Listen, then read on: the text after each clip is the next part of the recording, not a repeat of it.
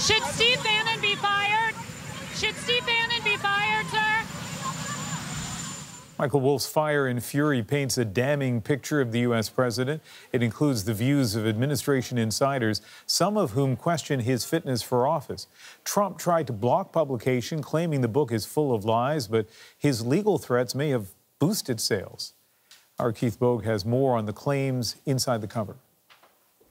Okay, but you're taking two. Clearly, the president's last minute legal maneuvers couldn't keep the book off the shelves, and it was snapped up big league.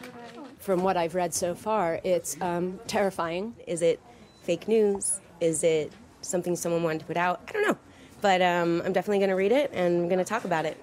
What the book says the people around Donald Trump believe about the president is indeed worrisome. They say he's um, a, a moron, an idiot.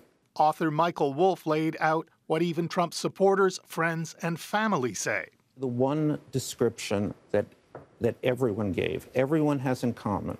They all say he is like a child. The president said the book is full of lies, and his supporters went to bat for him, arguing that if it isn't entirely true, then you can't believe any of it. The question is if 10% isn't true, if 20% isn't true, if 30%, uh. what is the reader supposed to guess? What is accurate and what isn't? My credibility is being questioned by a man who has less credibility than perhaps anyone who has ever walked on earth at this point. Steve Bannon, Trump's former campaign chair and strategic advisor, is the source for some of the most damaging material in the book.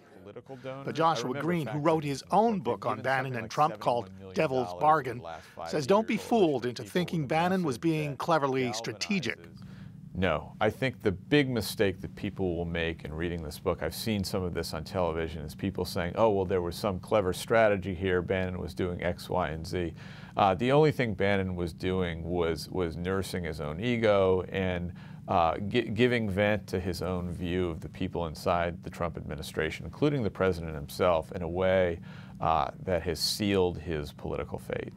There have been many books about Trump, but this one seems to have found a particular audience. I heard that it pissed the president off, so I decided to buy it.